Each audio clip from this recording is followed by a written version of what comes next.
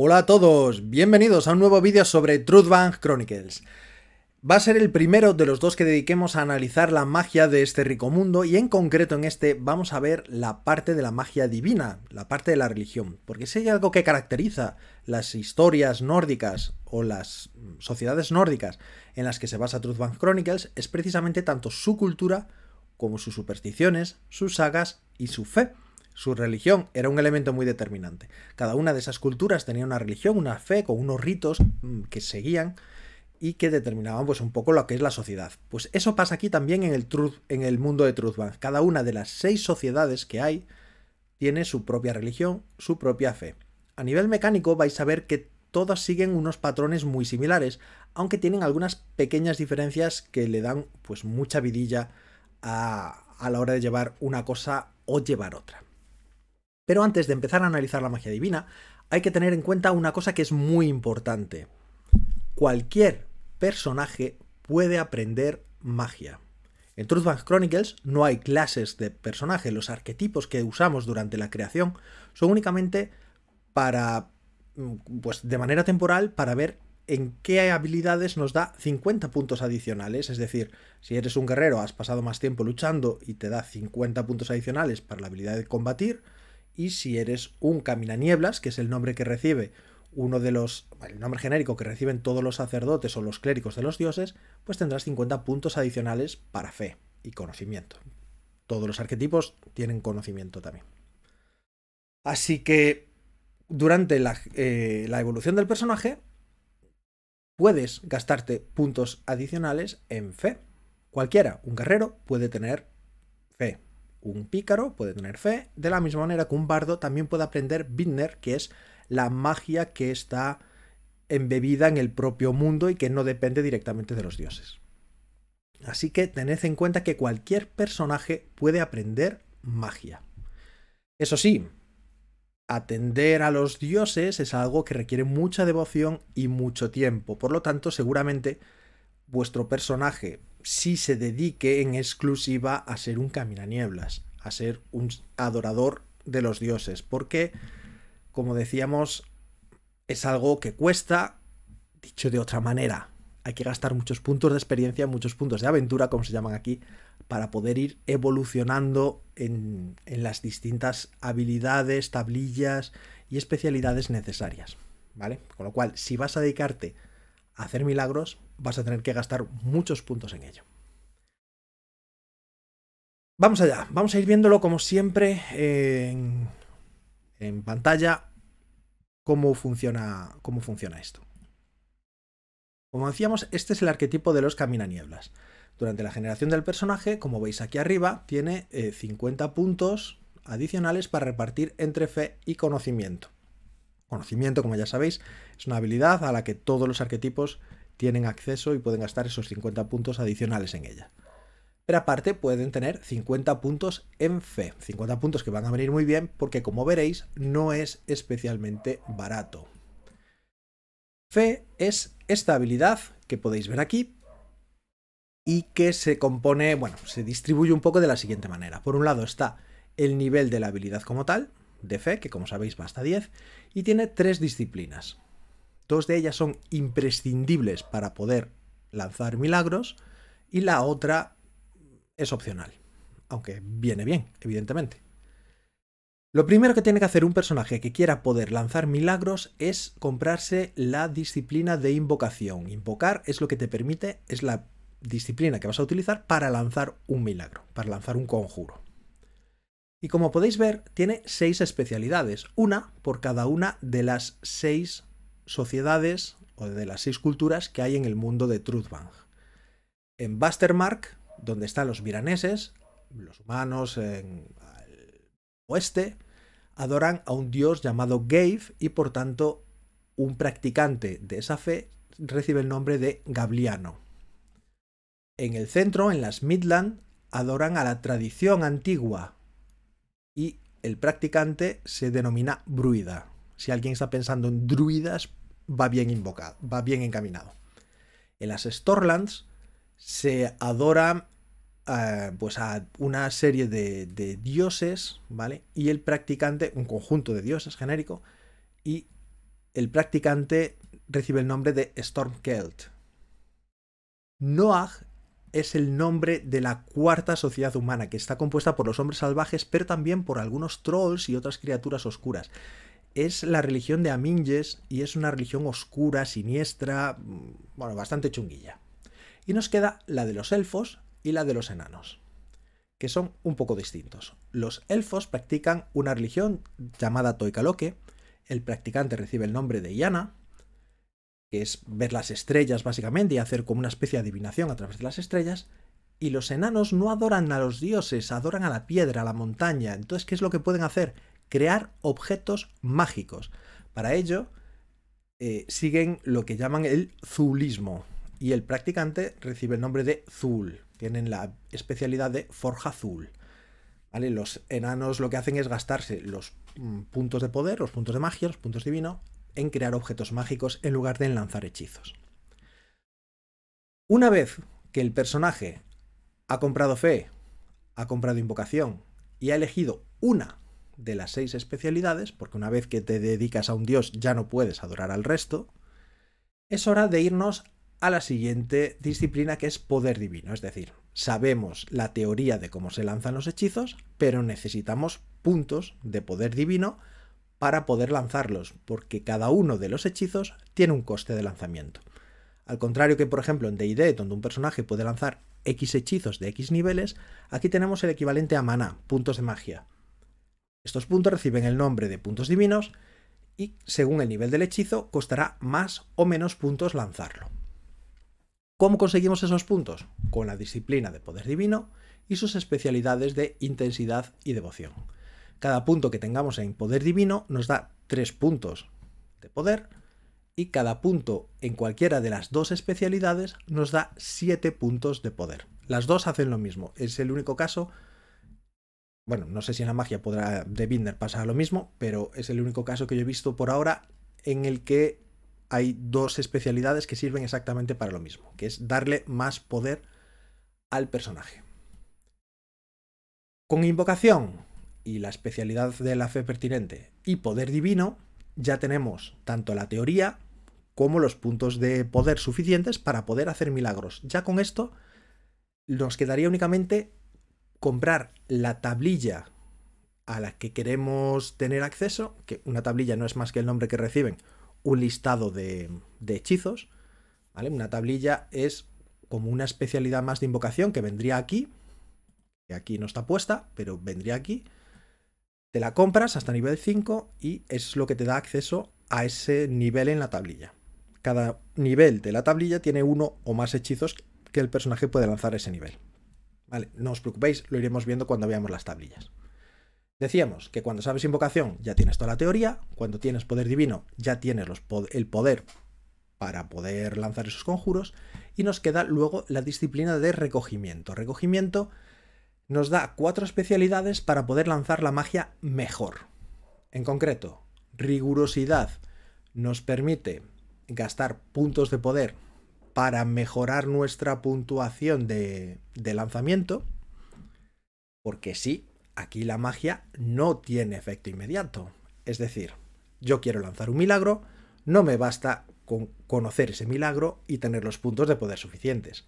Tengo que hacer una tirada de la especialidad pertinente. Por ejemplo, si soy un Stormkelt y estoy adorando a Stormy y quiero provocar un milagro que esté en una de las tablillas que yo me sé de ese dios, tengo que hacer una tirada.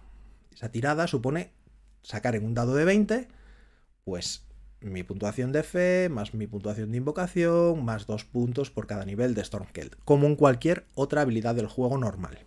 ¿vale? Eso lo tendrás calculado en tu ficha, es decir, aquí, donde veis la habilidad de fe, ¿vale? Tendrás tu invocación, tendrás, oye, pues soy un Stormkelt, pues tengo un 2 aquí y te pones tu total.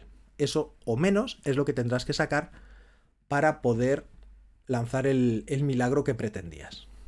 Eso sí, como veremos luego, lanzar un milagro es difícil y cuanto más poderoso sea, más penalizadores nos pone a la tirada. Eso significa que rigurosidad nos permite gastar puntos de poder para aumentar nuestra puntuación en la habilidad. Así, pues me puedo gastar igual 4 puntos de poder, los que sean para tener un más uno, un más dos, un más tres y asegurarme de poder, eh, de aumentar mis probabilidades de que el conjuro salga. Potencia hace el conjuro más potente y en caso de que el objetivo pudiera intentar evitarlo de alguna manera tendría penalizadores. Invocación rápida nos permitiría lanzar más rápido el hechizo y nos daría un bonificador positivo a la iniciativa. Y compostura nos permitiría evitar ser distraído en caso de, estar, de recibir daño o sufrir algún tipo de distracción mientras estamos lanzando un conjuro pues para evitar perderlo. Así es como funciona el árbol de habilidades de fe. Dicho esto, nos vamos al capítulo de Camina Nieblas. Aquí es donde se explica el funcionamiento de todas y cada una de las sociedades, eh, perdón, de las FES. En concreto, pues te hablan de la habilidad de fe, de los puntos divinos que tiene un personaje, de las tablillas sagradas a las que puede tener acceso, los niveles de los milagros, cuánto cuesta. Bueno, las tablillas sagradas son especialidades y cuestan lo mismo que cualquier especialidad. Y tienen el mismo requisito de nivel en la habilidad para poder comprarlo a los niveles más altos. Si no sabéis de qué estoy hablando, echarle un vistazo al capítulo de creación de personajes. Al vídeo, perdón. Y habla también de que no hay que abusar del uso de los conjuros porque tu dios se puede cabrear contigo y te puede incluso quitar el acceso al lanzamiento de hechizo. ¿Cómo funciona eso? Pues cuando tú quieres lanzar un hechizo, tienes que hacer una tirada, como decíamos, de, de fe y de la habilidad pertinente. Según el nivel del milagro que quieras realizar, tienes una penalización, que es básicamente el doble del nivel del milagro que quieres lanzar. Así, si quieres lanzar un milagro nivel 2, tienes una penalización de menos 4. Tiras un dado de 20.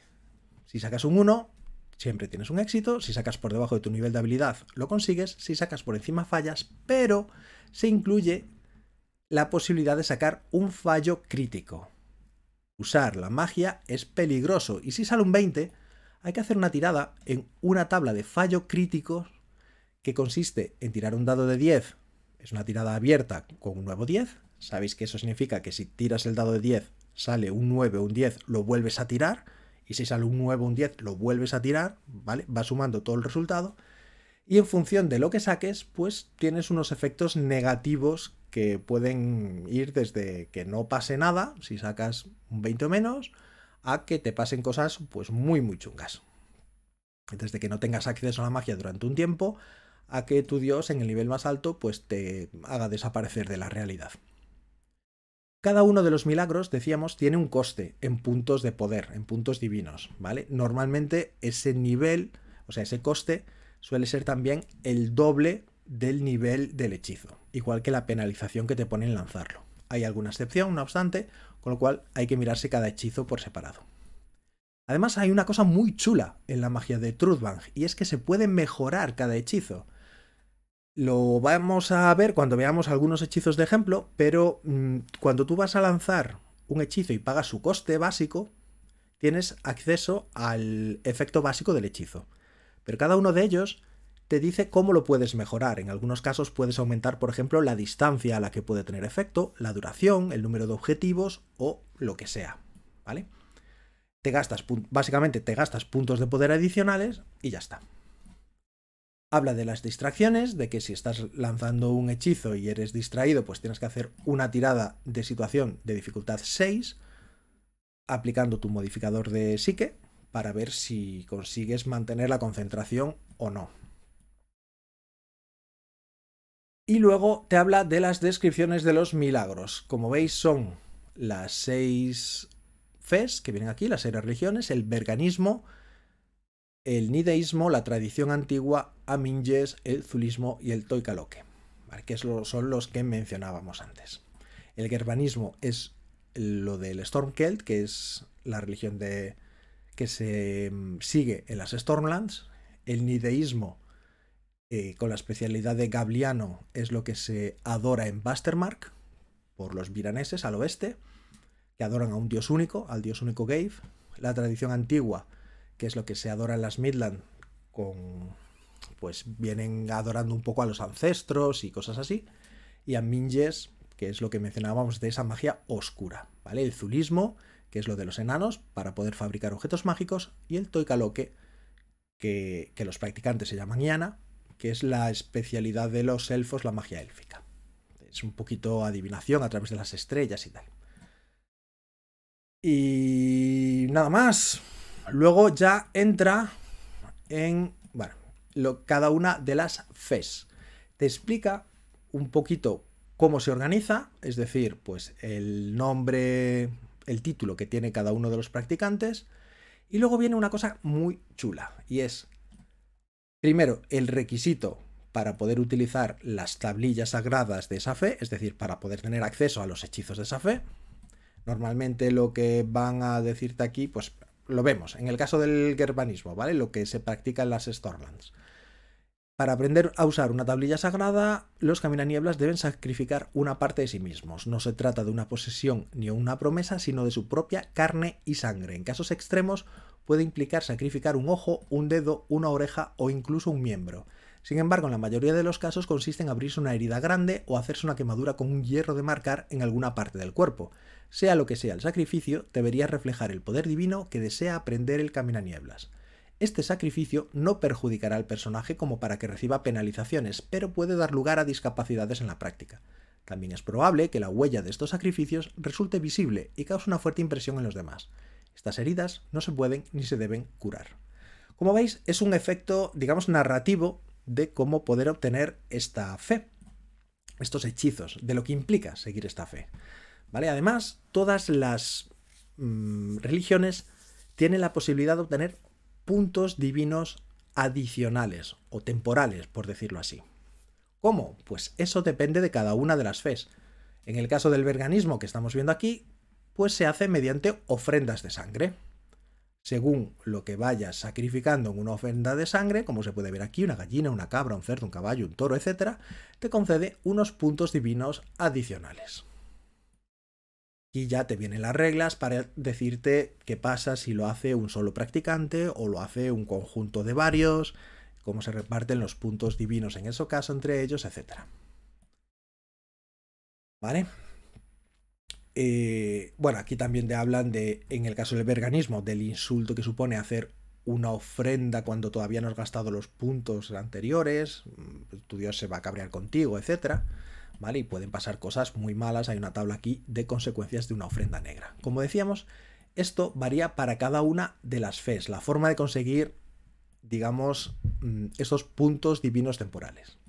Y aquí venimos a las tablillas del gerbanismo. Como veis, como os había dicho antes, las tablillas no son más que listados de hechizos agrupados de nivel 1 a nivel 5 según el listado, según la tablilla hacer un pequeño zoom aquí para que lo podáis ver más claramente. Como veis, los practicantes del germanismo en las Stormlands adoran hasta seis dioses. Solveig, Stormy, Jorn, Vinda, Enken y Tirth. Cada uno de ellos proporciona un listado de hechizos. Eh, cada uno de esos hechizos, como podéis ver, tiene un nivel. En el caso de Solveig, por ejemplo, si tenemos esta tablilla que es una especialidad, acordé, recordémoslo, a nivel 1, tenemos acceso a los hechizos de sanación y rayo de sol. Si la compramos a nivel 2, podremos lanzar además resplandor curativo y campo estival. A nivel 3, poder del fuego y calor curativo. A nivel 4, temporada de caza y aliento de Solvay. Y a nivel 5, sol curativo. Así funcionan todas las demás. Casi todas las tablillas tienen dos hechizos por cada nivel, de 1 a 4, y uno a nivel 5, que es especialmente poderoso. ¿Vale?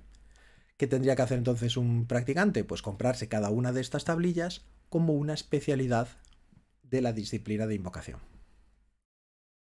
Y luego vienen ya las descripciones de cada uno de los hechizos. Como veis, viene, por ejemplo, en el caso de el calor de Solvay, que es esta tablilla, pues a nivel 1 nos ofrece sanación que dice el coste y la dificultad, coste 2 puntos, dificultad menos 2, acordaos que es el nivel del conjuro por 2, ¿vale? Como es un conjuro de nivel 1, es un 2 y un menos 2. Nos dice cuánto dura, el alcance que tiene, cuánto tiempo lanza el poder usarlo, etcétera, y los efectos que tiene. Y después viene abajo una tablita de cómo se puede mejorar. Es decir, si yo me casto un punto divino adicional, aumento la duración de este hechizo en un día, y si gasto 3, puedo sumarle otro más 1 al ritmo de curación, con un máximo de más 3. ¿vale? Habría que ver un poquito cómo funciona cada uno de los hechizos. Pero así es como funciona la magia. Te compras una tablilla al nivel que sea y tienes acceso ya a todos los hechizos que tengas. No tienes que aprenderte cada hechizo por separado, ¿vale? Luego, repite esto mismo, porque esto ya son los distintos hechizos que hay para, para las tablillas del germanismo, y pasamos ya a la siguiente fe, que es la tradición antigua, que es un poco la tradición de los, de los ancestros y, y, demás. Aquí, ¿cómo tener acceso? Pues funciona mediante promesas. ¿Cómo obtener puntos adicionales? Con juramentos de sangre. No quiero liaros con cada una de ellas para no alargar demasiado este vídeo, pero como veis, según lo que vayas a hacer, según lo que juramentes hacer, te proporciona unos puntos divinos temporales adicionales. Romper, por supuesto, una promesa, un juramento es algo muy grave, tiene consecuencias, o incluso si no cumples tu juramento en el tiempo establecido. Luego vienen las tablillas pertinentes y los hechizos de esas tablillas. Y así para cada una de las fes. La única excepción es el zulismo, que es la magia de los enanos, que es la que permite crear objetos mágicos, ¿vale? Donde no tienes acceso a hechizos, sino a efectos que tú vas poniendo en, objetos mágicos. Y tus puntos divinos los gastas en darle esos eh, usos, esa magia, al, objeto. Y ya está. En el caso del nideísmo, que es la adoración de, de Gave, que siguen en Bastermark, pues funciona mediante oraciones, ¿vale? Al dios único. Dicho esto, la magia, como veis, la magia divina es muy sencilla. Básicamente es cogerte la invocación pertinente de la religión que vayas a practicar, coger otra especialidad para cada una de las tablillas que quieras aprender, cogerte puntos de poder, o el poder divino y alguna de sus especialidades para tener puntos de poder y poder lanzar hechizos.